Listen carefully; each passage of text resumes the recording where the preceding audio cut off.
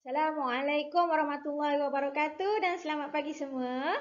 Uh, saya Cikgu Siti Suhaila. Hari ini kita akan sambung perbincangan teknik menjawab kertas 3 sesi 2. Hari itu saya dah bincangkan untuk sesi yang pertama. Jadi uh, untuk kali ini kita bincang menjawab soalan merancang eksperimen. Jadi sebelum pergi pada soalan, saya nak beritahu yang untuk merancang eksperimen ni markah dia adalah 17.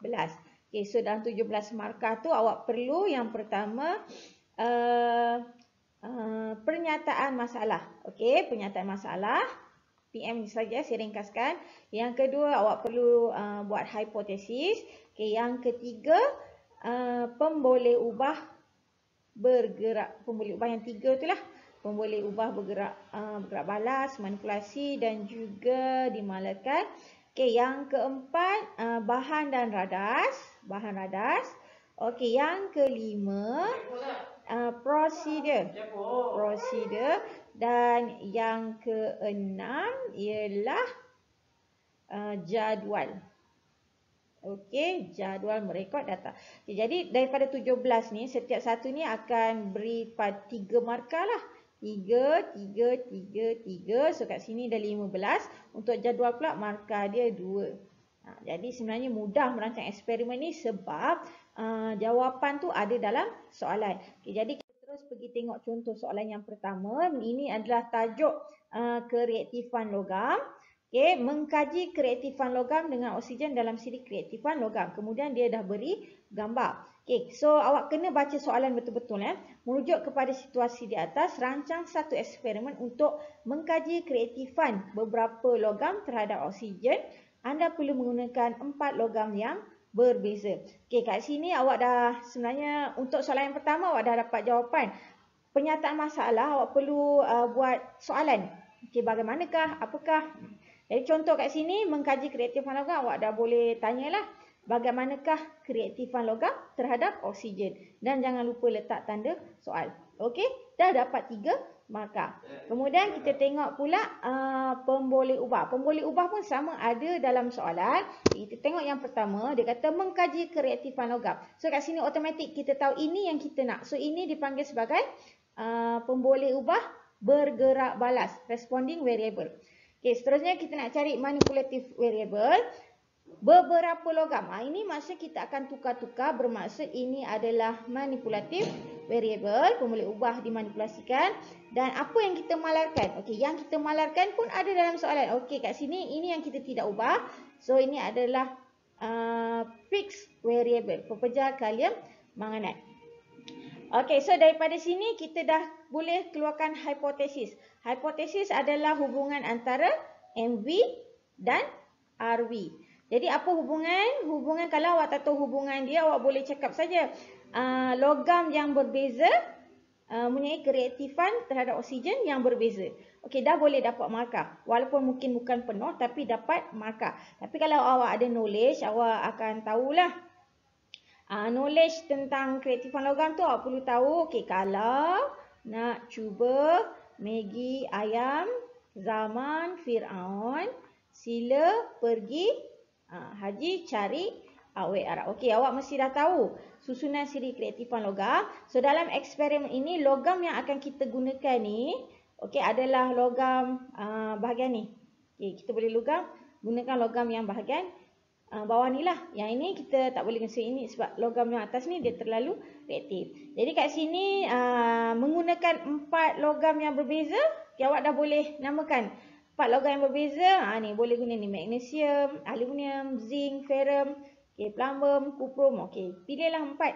Ha, biasa kita akan hmm, bolehlah pilih mana-mana empat daripada sini eh. Okey.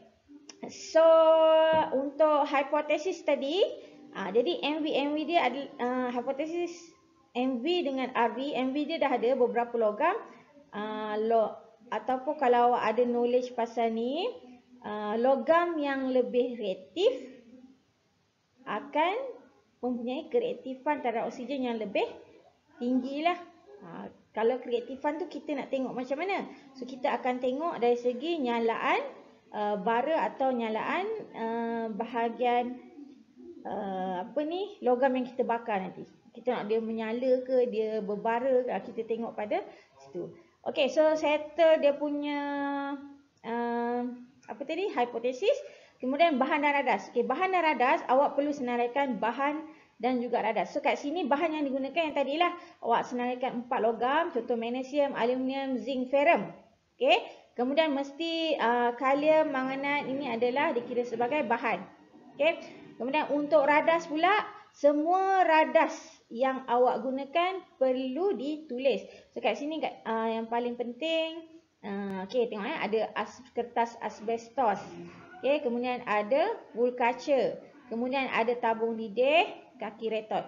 Okay, kemudian macam mana awak nak masukkan serbuk kalium manganat ni semua? Awak perlu guna spatula kan? Kena guna spatula. Okay, tulis spatula.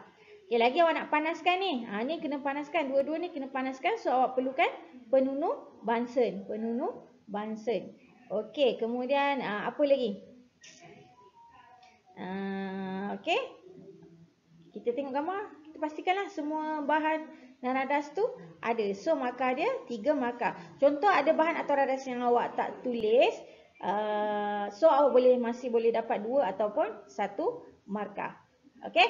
Kemudian untuk prosedur. Okay, untuk prosedur, uh, dia mesti ada ABC. Apa dia ABC? A tu untuk action, iaitu aksi. Kemudian B tu bahan apa yang digunakan dan C tu adalah container. Container radas apa yang digunakan. Uh, macam mana kita nak susun ABC ni? Uh, kita ke, uh, sekejap, eh, dalam prosedur dia ada empat perkara. Satu adalah macam mana awak susun bahan dan radas. Yang kedua, macam mana awak mulakan Okey. Yang ketiga, awak mesti uh, record dan yang keempat mesti ada uh, ulang lah sebab dia ada pemboleh ubah dimanipulasikan. Okey. Uh, faham tak? So kat sini awak senanglah nak dapat 17 markah. Jadi kita tengok jawapan yang sebenar eh. Kita tengok jawapan yang sebenar. Okey. So, uh, tujuan eksperimen baca dengan teliti. Tujuan eksperimen ada kat sana. Okey, kejap eh. Hmm. Okey. Ah. Kemudian. Okey, penyataan masalah mesti soalan tadilah. Uh, bagaimanakah, apakah dan mesti ada tanda soal. Mesti tepat dan lengkap. Tapi jangan takut nak tulis penyataan masalah sebab kalau tak tepat pun at least dapat dua ataupun satu. Okey, ha, ni. Contoh penyataan masalah, adakah logam yang berbeza mempunyai kereaktifan terhadap oksigen yang berbeza? Perasan tak? Ha, dia ada dalam soalan tadi kan, lebih kurang je. Kemudian, ataupun awak boleh tanya, apakah perbezaan kereaktifan beberapa logam terhadap oksigen? Okey, tengok pemboleh ubah pula. Nah, yang saya bagi tahu tadi, beberapa logam. So, waktu inilah jenis logam. Okey, ataupun logam yang berlainan. Okay, RV kereaktifan logam ataupun awak boleh tulis kecerahan ataupun keamatan nyalaan ataupun baraan. Okay, untuk fixed variable pula, ah ni yang kita tak ubah tadi kalian menganak tujuh ataupun kuantiti atau jisim logam ah, atau kalian menganak tujuh tadi lah. Okay, seterusnya. Hmm. Hipotesis hubungan antara MV dan RV. Okay, so kat sini ada tulis eh. Ha, ni kalau ada knowledge lah semakin tinggi kedudukan logam dalam siri kreatifan. Okay, semakin terang nyalaan atau baraan uh, iaitu tinggi kreatifan logam. So, ini adalah MV tadi kan. MV adalah logam. Kemudian uh, RV dia, uh, yang ni lah kreatifan logam adalah RV. Ataupun uh, nombor dua, menuruni siri kreatifan logam, kreatifan berkurang. Atau kreatifan terhadap oksigen berkurang. Ha, ni yang ketiga kalau betul-betul tak ada idea tulis dia logam yang berbeza menunjukkan kreatifan berbeza terhadap oksigen. Okey, seterusnya senarai bahan. Okey, mana-mana empat logam tadi? Kalium manganat, kertas asbestos, bulu kaca, tabung lidih, kaki retot, pengapit. Ha, pengapit yang saya lupa tadi. Dan juga spatula. Okey, semua bahan termasuk nilai kemolaran. Ha, ni kalau ada larutan lah jika ada. Kemudian semua radas yang digunakan termasuk juga yang tak ada dalam gambar tu tadi apa? Pisau, kertas pasir, kertas turas. Kalau gunalah radas dan bahan tidak perlu diasingkan. Maksudnya awak boleh campur sekali lah tulis. Okey, ha, ni contoh kalau diberi gambar macam ni kan. Awak boleh senaraikan lah bahan dan radas dia. Okey, tengok ni. Kalau bahan dia, contoh leburan, pelambung bromida. Uh, tu je lah. Kemudian radas dia, okey ni ada bateri. Okey, ada wayar penyambung. Ha, ada uh, mangkuk pija. Okey, ada uh, ni apa? Uh, ni penurun bansen. Kemudian ada uh, segitiga sini ada segitiga tanah liat sebenarnya segitiga tanah liat. Okey, kemudian yang ni apa? Tungku kaki tiga. Tulislah semua eh. Okey, seterusnya uh, prosedur eksperimen semua langkah diambil mestilah termasuk radas kuantiti bahan dan keadaan bahan, isi padu dan kepekatan mesti ditulis. Kemudian jangan tulis lebih kurang 3 garam atau sedikit bahan. Tak mahu eh. Maksudnya awak kena bagi kuantiti yang betul lah. Okey, kita yang seterusnya. Okey, uh, ini kuantiti. Kuantiti tadi uh, power of 5. Power of 5 maksudnya kita biasa guna kalau gram 5 gram. 5 cm padu, 5 titik, 50 cm padu bika, 0.5 mol per desimeter padu. Ha, biasa dia guna macam 555 boleh. Okey, dia ada range sebenarnya.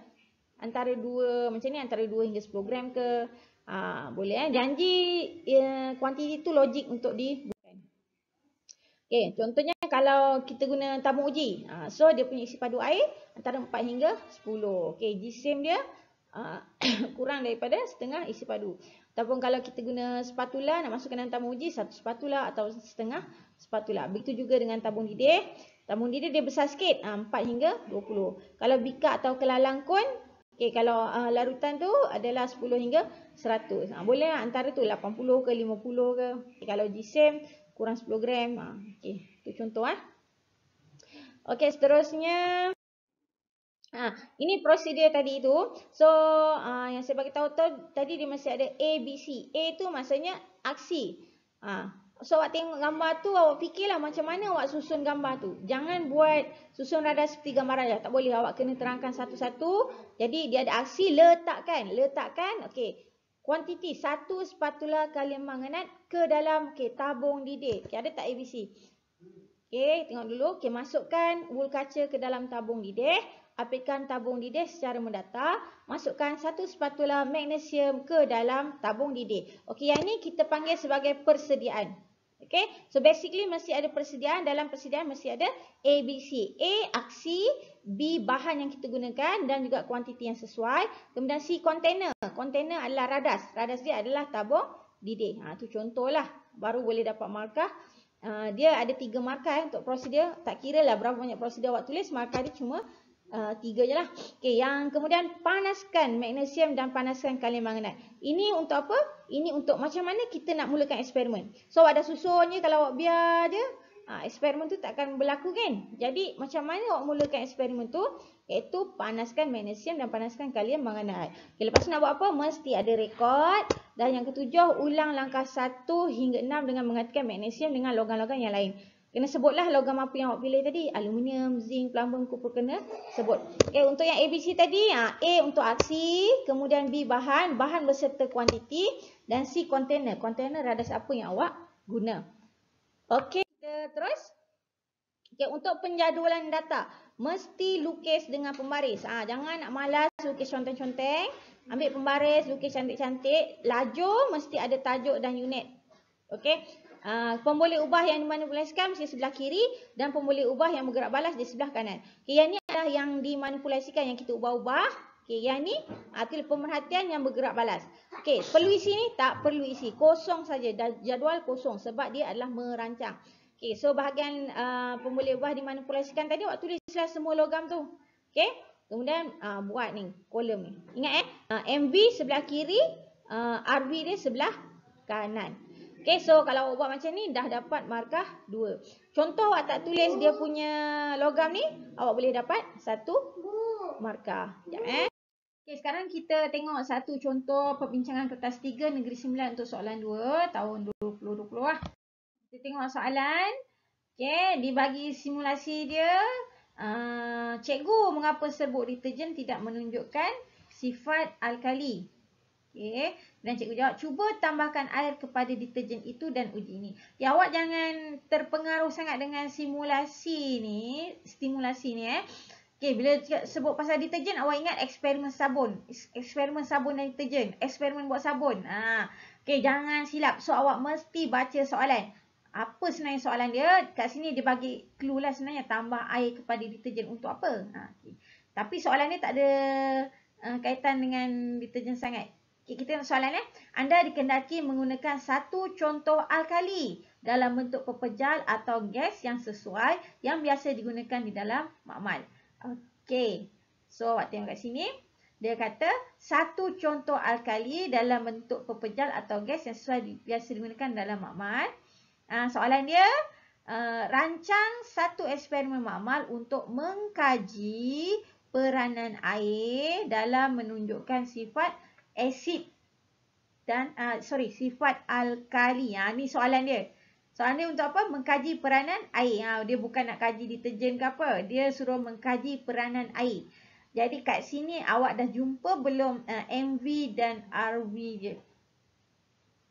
Hmm. Okey.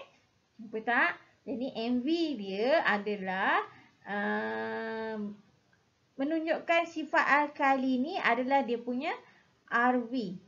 RV. Okey, ni RV dia. Manakala MV dia adalah peranan air. Maksudnya kehadiran air. Bagaimana kehadiran air menunjukkan sifat alkali. Jadi kat sini awak dah boleh keluarkan dia punya pernyataan masalah. Apakah peranan air dalam menunjukkan sifat alkali? Tanda soal. Okey, dapat tiga markah. Apakah peranan air dalam menunjukkan sifat alkali? Atau atau bagaimanakah bagaimanakah air berperanan dalam menunjukkan sifat alkali? Letak tanda soal. Okey, dapat tiga markah. Okay, kemudian uh, dia punya pemboleh ubah dia tadi, uh, MVRV tadi lah. MV dia adalah ada air dengan tak ada air lah. Sebab kita nak tengok ada air dengan tak ada air kan. Kemudian dia punya RV dia uh, sifat alkali. Macam mana awak nak test sifat alkali? Macam mana? Guna apa? Kertas litmus. Kertas litmus merah. Kalau dia alkali, kertas litmus merah tu berubah daripada merah kepada biru. Okay, kertas litmus merah. Okay. Kalau contoh soalan ditukar kepada asid, guna apa? Kertas litmus biru. Okey. Uh, so itu kita boleh letak sebagai uh, RV dia lah kertas litmus merah ataupun sifat alkali ni tadi. Kemudian dia punya FV fix. Uh, yang dimalarkan awak boleh cari juga kat sini uh, satu contoh alkali. Ha, ni yang dimalarkan lah. Ha, jadi, apa alkali yang awak tahu? Contoh dia apa? NaOH. Dalam bentuk pepejal. Yang ni dalam bentuk pepejal. Dia kata atau gas. Kalau gas tu awak boleh guna amonia. Amonia gas.